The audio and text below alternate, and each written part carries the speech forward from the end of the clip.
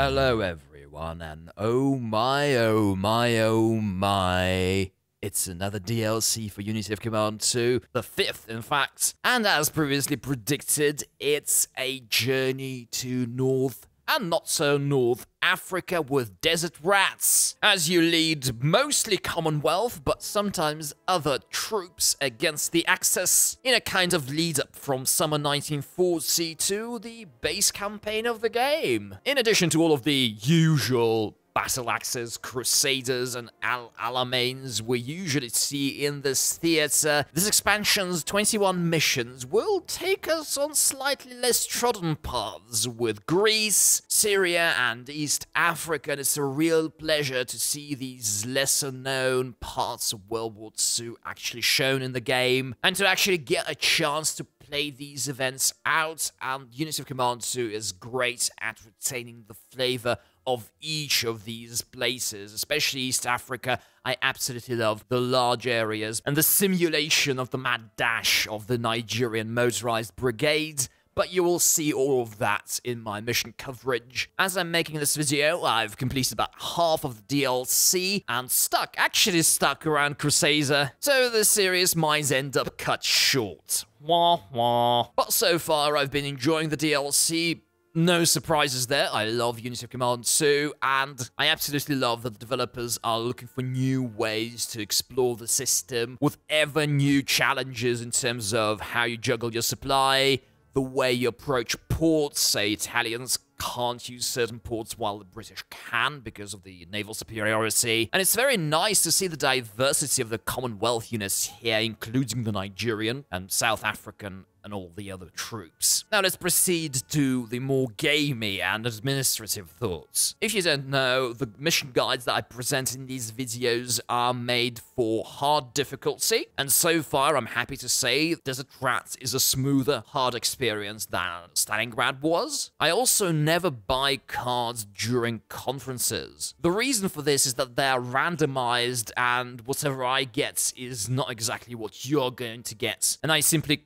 cannot rely on that kind of logic in my guides. Plus, the missions in this DLC actually shower you with cards, especially those of trucks. So much so that I've started to keep a tally of all of the cards you get in these missions, because a card limit means that you'll have to spend some of them, once again just to keep these things predictable. You are also very much expected to spend these truck cards because the supply situation generally is going to be pretty difficult in these missions, especially in East Africa. And as an additional piece of general advice, please pay attention to the briefings of the missions and the descriptions of the HQs. These include valuable advice about what potentially you should be doing, about what kinds of skills you should be buying for your HQs, and these suggestions are pretty much universally unambiguously good. And so, without much further ado, let's look at the first two conferences of the Desert Rats DLC.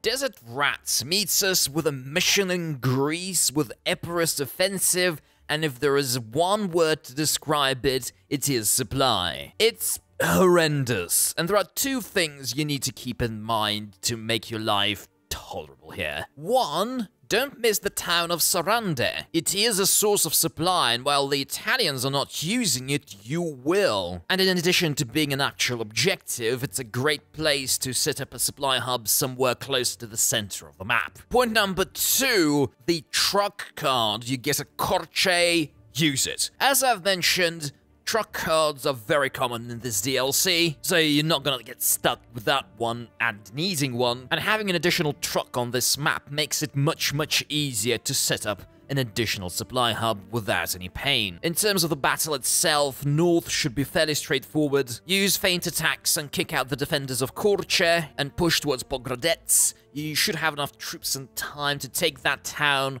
Once it's yours, leave someone to guard it, and go south to help out with a breakthrough at Klissura and Berat. In the south, repair all those bridges, kill the division you're supposed to kill is pretty easy, send someone to Klissura, and push the bulk of your forces to the west to surround Sarande. Usually you can wait a little bit to starve the enemy of supply there, and the cavalry division you will get later in the mission will actually help you with that. Use largely the same tactic at Himare The AI is likely to leave its pretty good tank division in the objective, and so surrounding, starving, and killing is a good idea here as well. After the fall of Saranda, your supply situation will have a lot of potential to get much better, making it possible to break through at Klissura and advance towards Berat. At this point, the enemy should not have too many troops remaining, and at this point, your main objective will be to block Vlore. You're very unlikely to take it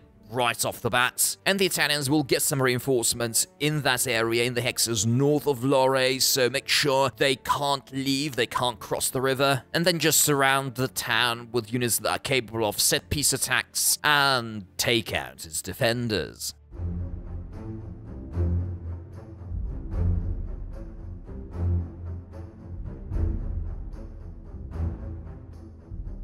After assigning a little bit of fiddliness and Epirus, you would expect Compass 1 to be even worse, but no, this is the first really easy mission in the DLC. And the good news is that pretty much all of the Italian troops on this map are static, with just one little thing to keep in mind. Now, your obvious first turn one maneuver here is to bypass Sidi Barrani and rush towards Buk and absolutely do encircle Sidi Barrani. The Italians are not using that port for supply. Buk itself is not a priority, as you can see, you can take it later in the mission. What's more important on turn one is to damage the Italian tank unit, and maybe the Buk defenders because the AI will retaliate to your encircling Sidi Barrani if it has the mobile reserves to do so. And that's pretty much the only active resistance you're gonna encounter in this mission. Use your infantry to crush the siege at Sidi Barrani. Don't worry too much about keeping your front line tight. Once again, the Italians are pretty passive here. And rush your tank and motorized brigades along the coast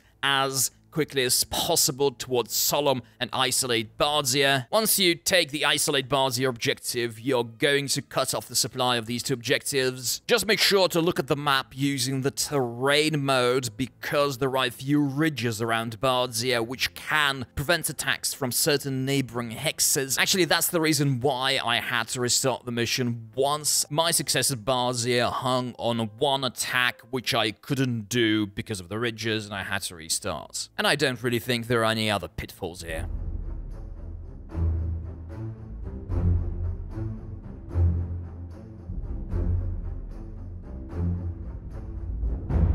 So that compass thing must have been great because they've decided to do another one. And this here compass 2 is one of them one trick missions. So what's the trick, Expo, you ask? And I say, well, look at that little book next to the name Benghazi on the map. At least I assume it's a book. Anyway, if you take Benghazi all of the Italians, including all of the reinforcements they might get by the end of the mission, will take their Mussolini guaranteed spaghetti lunch break and will turn into stragglers. So a key element in cracking this mission is taking your motorized division, preferably equipped with a recon detachment, and just beelining westwards through all of the desert. It is possible to take Benghazi on turn 7 and make sure you don't waste your naval bombardment for anything else, keep it for Benghazi, alright? All of this means that you will only really have to fight for Tobruk. So push your tanks forward around Tobruk and towards Mechili and Derna, obviously preparing the ground for taking them empty and cutting off the supply to Tobruk. Remember that that port is not used by the Italians. And while all of your motorized units do all their shenanigans, use your infantry and artillery to do good old siege warfare. You have a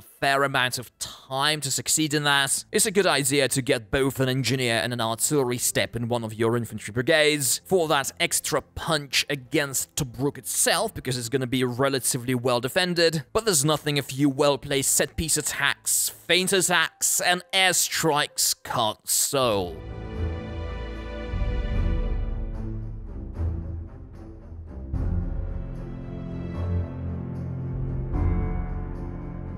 So there are two sticking points that will make you mad in roads to Keren. The first one is, well, Keren itself, i.e. the raid Keren objective, and the defenders there are an incredibly difficult nut to crack, especially if you're playing on hard, and I had to equip one of my Indian divisions with an engineer and a Gurkha specialist just to make a dent in that objective. Another problem that I encountered, and I suspect this is going to be one of those things that get patched very quickly, is about the Kub Kub objective. So the deal in the east of the map is pretty straightforward. You move all of your units along the coast, you defeat the enemy at Karora, set up a supply hub there, and push forward to Kub Kub. The problem is that Kub Kub, which is not particularly well defended, you can actually kill that cavalry unit. It is a mountainous hex, and if an enemy HQ is sitting in it, you can't enter that hex, and the AI knows it. So after getting burned a few times and not getting a completionist outcome in this mission, I actually tried to look for a way to screw with the AI's head so to speak. So the approach that stuck is great in other ways, actually, and it's pushing your motorized division in a pincer maneuver north of Bissia and Agordat. Essentially, your goal here is to cross the enemy railway line behind Agordat on turn 3. This seems to do the AI voodoo magic stuff right, and the enemy HQ just sits next to the edge of the map, with the added advantage of all of the objectives west of that motorized division, losing their supply and being far easier to clear. Once they are that, i.e. clear, bunch up as many of your troops next to raid Keren, make sure your Indian division with the Gurkhas and engineers still has them, and push them into the first attack to destroy some of those fortifications and weaken the defenders, and kick out those defenders and get that HQ level up that probably is not worth all those horrible losses.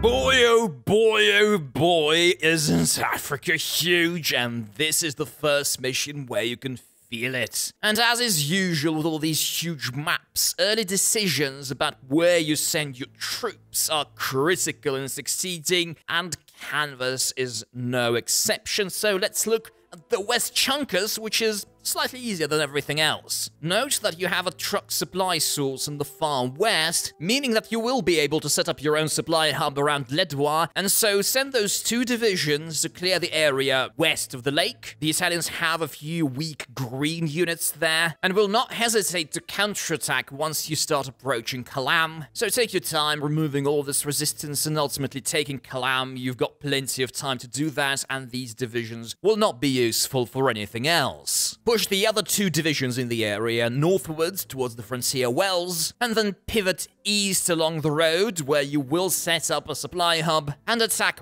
Mega from the northwest because the defenders in the mountain are pretty tough and static at the same time. They're really not worth your attention, and once Mega is yours, push one of your divisions towards Moyale with some air supports, the town is not going to be too difficult to take. Now, the eastern portion of the map will require us to invent a couple of tricks. The obvious first objective is, of course, Afmado. It's not going to be too much of a problem, and then once you're done with it, move towards Kismayo, not only because it's an objective, but also a ports, and you will already be starved for supplies in this area, and so clear the ports and cross the bridge there. The hex southwest of Margherita is perfect for pizza, i.e. supply hub, and once you clear the enemy zones of control there, rush your Nigerian motorized division towards Mogadishu. It's completely undefended, and you will take a port with that city, so you will be able to supply the Nigerians. And that was the first trick. The second trick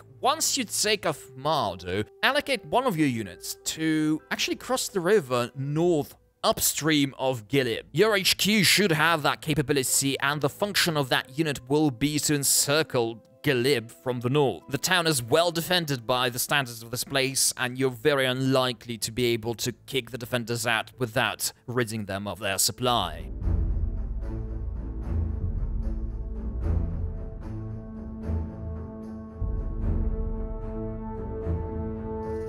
And this is it for today. In the next video in this cracking sub-series, you can expect lots and lots of disasters, lots and lots of retreats, for an interesting change to what you usually see in Unity of Command 2. Until then, I hope you enjoy the game with or without my guidance. Cheers.